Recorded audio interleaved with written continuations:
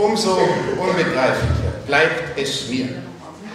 Warum, und das ist eigentlich mein persönlich größter Schmerz, warum große Teile des organisierten deutschen Naturschutzes beim Thema Windkraft beinahe widerstandslos eingeknickt sind, statt ihr gewichtiges Wort mit in die Waagschale zu werfen, wie es Gott sei Dank hier in der BN-Kreisgruppe Tirschenreuth-Wunsiedel tapfer und effizient geschieht. Der Kreisgruppenführer, und ich will ihn wirklich namentlich nennen, Herr Paulus, Karl Paulus, und der BN-Vorsitzende Josef Siller unterscheiden sich wohltuend, ja fast heldenhaft von den vielen Mainstream-Naturschützern des BUND und dessen Bundesvorsitzenden Professor Hubert Weigand.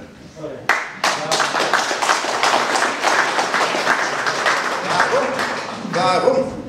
Hier nicht klar und entschlossen von Naturschützern naturgeschützt wird und Position bezogen wird, wird mir immer unbegreiflich bleiben und als ein Dolch im Herz und Rücken stecken. Die Argumente sind hier manchmal selbst bei bestem Willen nicht mehr nachvollziehbar. Da veröffentlicht zum Beispiel der BUND Baden-Württemberg auf seiner Homepage Argumente für Argumente für Windenergie, welche da lauten, ich darf wieder zitieren, Land BUND zitiere ich jetzt, Landschaftsschutz kann nur ein Unterargument sein. Schon immer prägte der Mensch massiv wirklich komisch, seine Umwelt. Schon immer, also immer. Straßen, Gewerbegebiete, schon immer. Großkraftwerke, schon immer. Funkmasten, schon immer. Skipisten, schon immer. Strommasten, schon immer. Und jetzt Ritterburgen oder Aussichtstürme sind landschaftsprägende Elemente. Wörtlich BUND. Es liegt also in der Natur der Sache, alles noch Zitat, dass windgünstige Standorte teilweise an besonders exponierten Stellen liegen. Halten Sie sich fest, ökonomisch und ökologisch macht es Sinn, an diesen Stellen genau dort Windräder zu errichten. Ende des Zitates und meine bescheidene Frage, wenn es also ökologisch tatsächlich Sinn macht, Vögel und Fledermäuse zu zig und Hunderttausenden zu töten, dürfen wegen mir Bundvertreter so gewonnenen Strom getrost wieder als Ökostrom bezeichnen. Aber nur diese verblendeten Technik-Umweltschützer. Nochmal, wie bitte? Großkraftwerke, Funkmasten, Masten, Skipisten wären also plötzlich nur noch landschaftsprägende Elemente. Ein harmloser Aussichtsturm und eine harmonisch in die Landschaft eingepasste Burg wären dasselbe, laut BUND, wie eine Horde 200 Meter hoher rotierender Monster. Und wenn mir nun gar von Naturschutzseite erklärt wird, eine der Kernregionen Deutschlands, nämlich der Odenwald, sei a priori nicht schützenswert, soweit es nicht um bedrohte Tier- und Pflanzenarten geht, stockt jedenfalls mir für einen Moment der Atem. Und ich frage mich, was um Himmels Willen ist hier aus dem Begriff Natur geworden, der doch eigentlich das Ganze und nicht nur das mikroskopische Detail im Blick haben sollte. Und meine Damen und Herren, ich bin in meinem Herzen mit den Politikern letztlich gnädiger, weil sie wissen oft wirklich nicht, was auf sie zukommt. Da weiß ich, wovon ich rede. Mein Vater war Politiker und einer meiner vielen Söhne.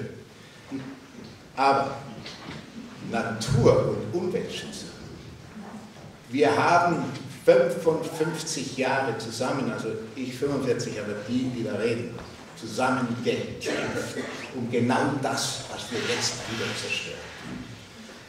Ist es nur die resignierte Wahl des kleineren Übels gegenüber der Kernkraft, was die Umweltschützer bewegt.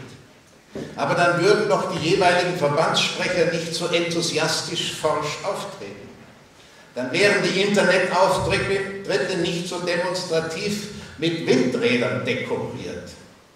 Dann gäbe es nicht Werbebroschüren wie die, Anführungszeichen, Position für einen natur- und umweltverträglichen Ausbau der Windenergie, in der es wörtlich heißt vom BUND, außerhalb von entsprechend festgelegten Schutzzonen, also Natur- und Vogelschutzgebieten und Nationalparks, hält der BUND den Bau von Windenergieanlagen für zulässig, gegebenenfalls nach einer Einzelprüfung in Landschaftsschutzgebieten und in Naturparken in Waldgebieten, wenn außerhalb der Wälder keine ausreichenden verträglichen Standorte bestehen. Im Augenblick wird mit dem Segen des BUND zum Beispiel die hinreißend schöne fränkische Schweiz ruiniert. Ja. So also pervertiert Naturschutz in seinem Gegenteil.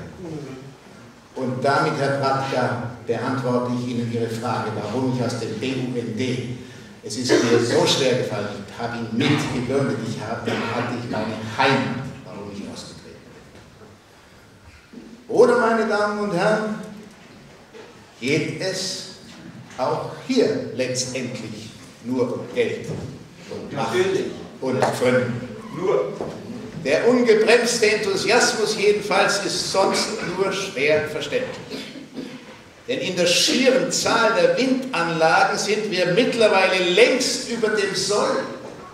Nach einer Recherche des Stern werden von den derzeit knapp 22.700 Windrädern in Deutschland bis zum Jahr 2030 voraussichtlich nur noch 15.000 funktionieren. Warum?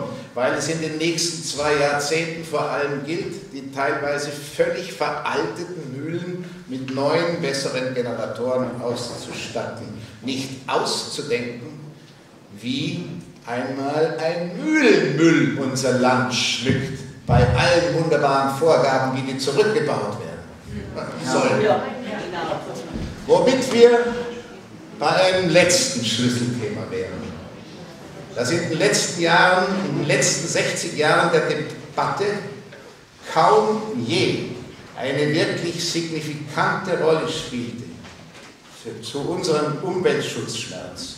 Und dass erst die Ereignisse der letzten Wochen in die Hauptschlagzeilen spülten, nämlich die Energieeinsparung. Wissen Sie es noch? Im Juni 2011 versprach unsere Bundeskanzlerin eine bevorstehende Senkung der Strompreise und versicherte im gleichen Atemzug, die EEG-Umlage, also der Verbraucherbeitrag zur Energiewende im Rahmen des, des Erneuerbaren Energiegesetzes, sei in einer Höhe mit 3,59 Cent pro Kilowattstunde verbindlich festgeschrieben. In der ersten Oktoberwoche 2012 sickerte nun aber durch, die deutschen Netzbetreiber wollten ganz im Gegenteil die Umlage auf rund 5,3 Cent pro Kilowattstunde erhöhen. Notabene eben genau jene Konzerne, denen ein ökologisch sinnvoller Umbau der Netze bislang eher Schnuppe war und die zur Energiewende vorwiegend kontraproduktive Beiträge erbracht hat. Und sogleich, Sie erinnern sich, brach Hektik aus. Noch am selben Tag meldete sich Umweltminister Peter Altmaier mit der zu Herzen gehenden Äußerung, er selber habe gerade bei sich zu Hause zwei alte Kühlschränke entsorgt und damit wohl die Energiebilanz entscheidend verbessert. Dem folgte nach dem üblichen Koalitionskrach noch die wahrhaft bahnbrechende Idee, man könne gegebenenfalls Langzeitarbeitslose zu Energieberatern umschulen lassen, die, ja, die in die Regionen ausschwärmen und den Menschen erklären sollen, dass sie mit neuen energiesparenden Geräten sowie einem Verzicht auf Standby-Schaltungen bis zu 30 Prozent Energie einsparen und damit natürlich zu Recht ihre Strombilanz fast märchenhaft optimieren können. Meine Damen und Herren, welch ein bahnbrechender Erkenntniszugewinn und zu welcher Zeit. Ein halbes lang, Leben lang gehe ich vergleichsweise fruchtlos mit diesem Thema hausieren. Und zwar bei allen Parteien. Und nun also reicht ein kleiner Griff der Großkonzerne in unser aller Geldbeutel, um eine Art Staatsziel daraus zu machen. Wer das in den Konsequenzen durchdenkt, muss eigentlich verzweifeln.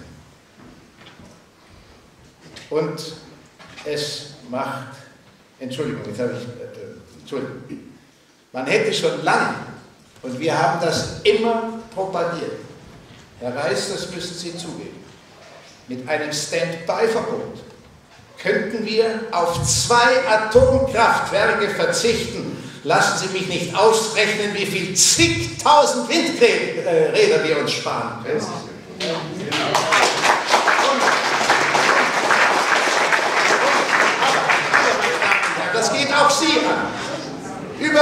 Mal, was Sie tun. Das müssen wir auch, wenn wir das Maul aufreißen. Und ist Standby, ist Standby den Ausverkauf unserer Heimat wert? Das ist die Frage. Ich sage Ihnen das jetzt aus dem Hut. Wir haben heute darüber gesprochen, weil es immer heißt, ja, was macht denn dieser Gutenberg zum Beispiel? Ich fahre seit, seit es Gasautos gibt, lasse ich alle meine Autos, die ich fahre oder meine Familie auf Gas eben umbauen. Und wie mein Sohn in der Bundesregierung war, habe ich ihn gefragt, warum fahrt ihr nicht Gasauto? Gut, das ist zu mühsam. Ja, so kommen wir nicht weiter. Und meine Damen und Herren, das frage ich Sie jetzt auch. Ich frage Sie, fahren Sie in Urlaub mit dem Flugzeug? Meine Frau steigt mir immer auf die Füße. Ich tue es nicht. Beruflich schon. Bitte, ich könnte jetzt weiter, weiter, weiter machen. Sie müssen auch nur den Mund aufreißen, genügt nicht. Dennoch,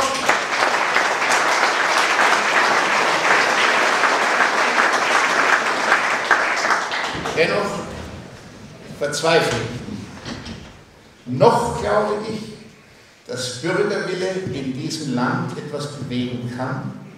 Dieser Abend hier ist ein großer, schlagender, schöner Beweis. Und es macht Mut, Sie, den mutigen, wirklich mutigen, staatlichen Forstamtmann Johannes Bratka und Ihre Mitstreiter kennengelernt zu haben. Und vor Ihnen, meine Damen und Herren, sprechen zu dürfen, macht auch Mut. Eines muss grundsätzlich und unverbrüchlich klar sein. Heimat darf man nicht nach Nutzflächen bemessen, sondern nach dem, was Heimat für unser Lebensgefühl, unsere soziale Bindung, unsere Herkunft, unsere Geschichte und Kultur und damit unser ganzes Selbst bedeutet.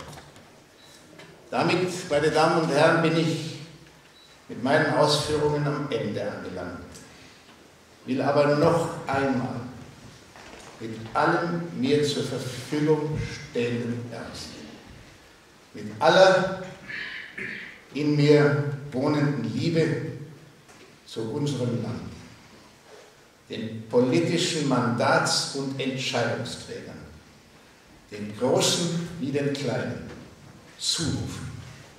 Verwandeln Sie wieder privilegierte Bauvorhaben zurück in noch privilegiertere Schutzvorhaben. Öffnen Sie Ihre Herzen Augen wieder für ihre Herkunft, für ihre Heimat, unsere Heimat. Die soziale, die so viele geschichtliche Katastrophen ausgehalten und überlebt hat. Aber mit diesen Fehlentscheidungen zugrunde gehen wird. Ich danke Ihnen.